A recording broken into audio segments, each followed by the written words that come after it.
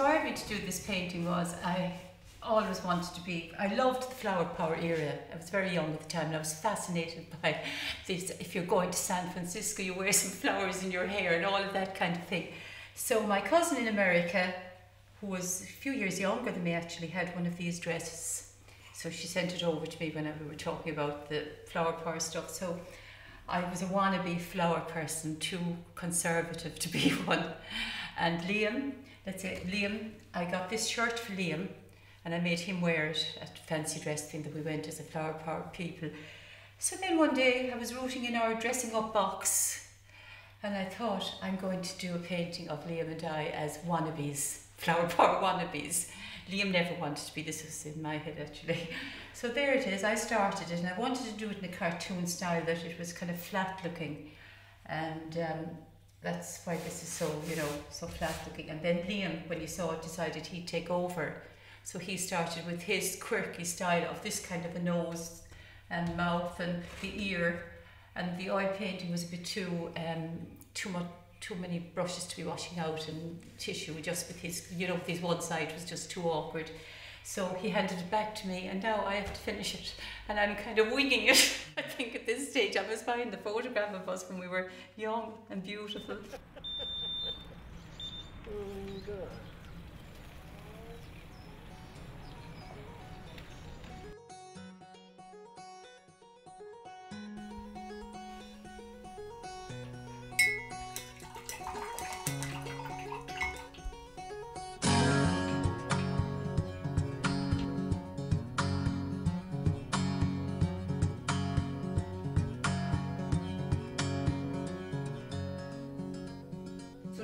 If I was to say to you, what inspires you and what do you like to paint? Yeah, what inspires you?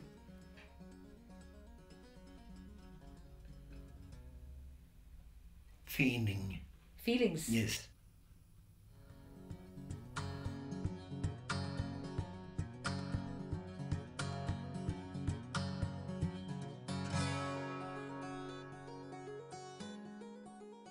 Twenty years ago, you were fine and then you had a stroke, yeah. isn't that right? Golf and fall. It's it's hard. Yeah. Tell me about Munster. Munster, they're no, either they're they're good, good, good. Are you a big fan of Munster? Oh, no, hot, a very hot Munster. My God, the, the monster. Yeah, what inspired me to do this?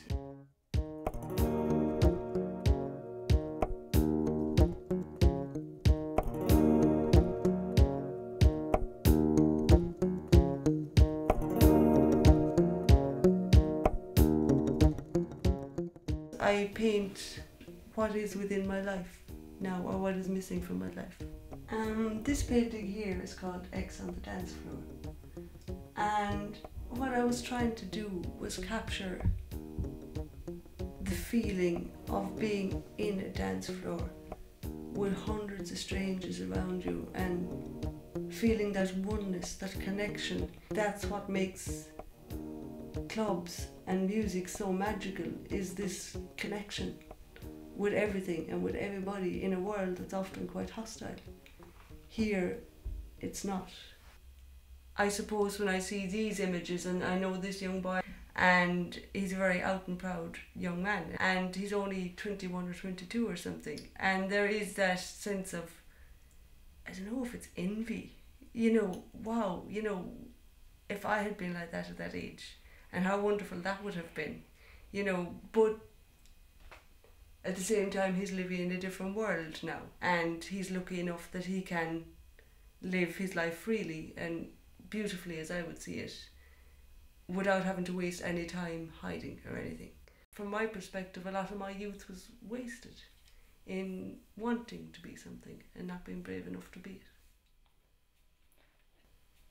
But that's from my perspective. I think within the paintings, I don't know if you you just see the flamboyance and, and, and, and the happiness and I suppose there's a, a huge amount of strut and confidence and mightn't necessarily be real. You know, these people might be incredibly underconfident in other aspects of their life, but within the nightclub scene, they are God. I think there's something shallow, yes, about that, but there's also something powerful. You know, that's what youth is about.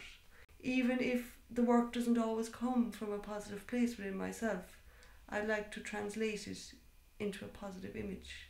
Like my landscapes, when I moved down to Kerry, I couldn't get over how beautiful it was.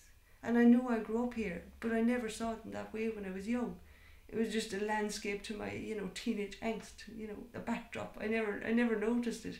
And then I came back here in a different place and I just was like, wow, you know, you couldn't paint this. I was like the skies and everything was just so dramatic and beautiful. So I painted them for quite a long time. And I painted landscapes and now I suppose that now I've been here for a good while, I'm used to the place. I'm now painting what's missing or what I've noticed is gone from my world. And I suppose in a year's time, I'll be painting something else. We live in a world, you know, an outside world. And that's what's important to me is not to live intellectually secluded. We've, we, we must know what goes on around us. I go to Andalusia quite regularly. I'm doing a painting, um, which is based on a still life group that I've set up in the studio, in different parts of the studio. Um, apples, oil lamps, and uh, different aspects of the studio. But I've added to the painting um, um, cuttings from design magazines uh, to give off um, um, wrought iron and different uh, textures, uh, the um, carpet type textures that are very Eastern and Muslim, what I think is like a Spanish feel to them. Um, so really, it comes down to a, an excuse to paint the Spanish landscape mm-hmm. by way of a still life. There's no uh, philosophical reasons to this. It was mainly uh, colour and texture.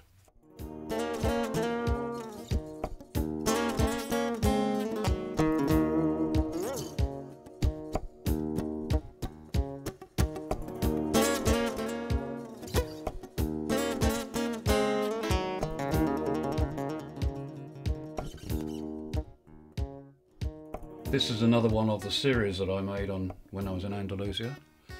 Um, it's a painting of the landscape, the desert landscape. The desert landscape is part of the painting. It's added to the painting in the way of the soil. Um, so therefore the landscape is part of my painting. Uh, but I went on from there because I became interested in um, the Andalusian poet. Uh, this is a homage to Federico Garcia Lorca. And uh, where is he buried? We don't know. None of us know. But we know he was murdered and buried in the desert around Andalusia, around Granada. Um, this little squiggle here was an accident, but it, to me it has a, a surrealistic quality about the death of Lorca. He was a great liberal, and he was unfortunately murdered in the one of the early murders of the Spanish Civil War. Um, I'm an anti-war person um, so that inspires me to paint. If I can make a statement on my belief and I can make an honest statement on the belief, that interests me. It's only through truthful statements you'll make art. I just love North Kerry. It's somewhere very different, very different to where I used to live uh, in England. Around every corner, there's a picture. Every corner, there's a tree leaning over the road, or an old barn, or a disused bungalow, or um, the sun is coming up over the trees. You know, you, you, you, you, literally there are hundreds of paintings just waiting to be done.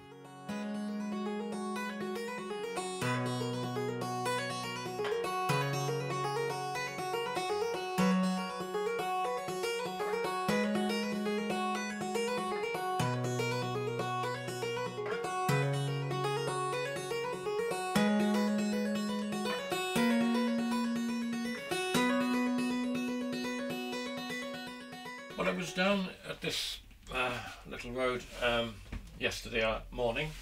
I looked up the lane and I just liked the view and this tree in the middle here. And that's what I've kind of made the centre of the picture. So the road leads you up and around and, and you see that there. That, that was my idea.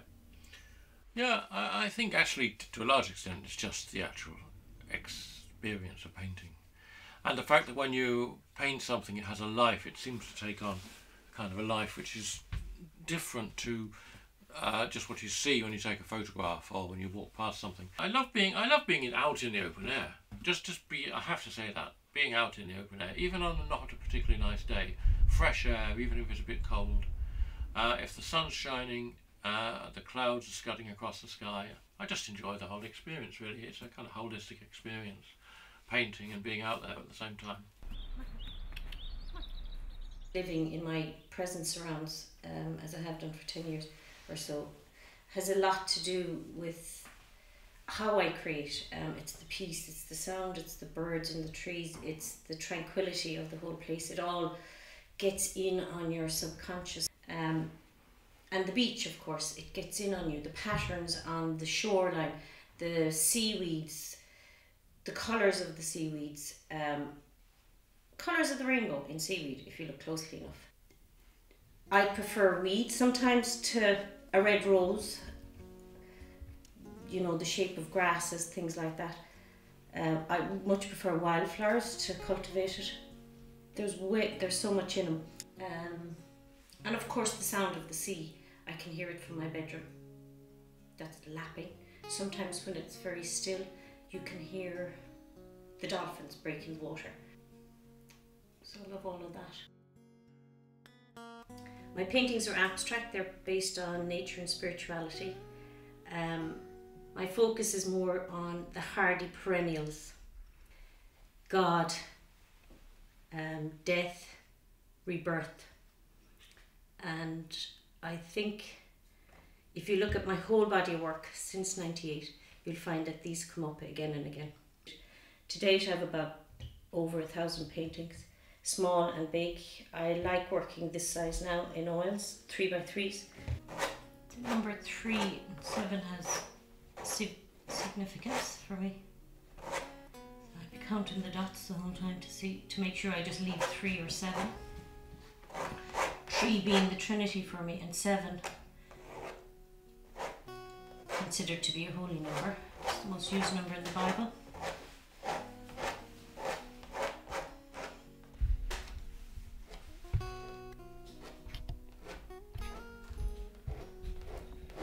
It's always been in me to paint, and I've created all my life.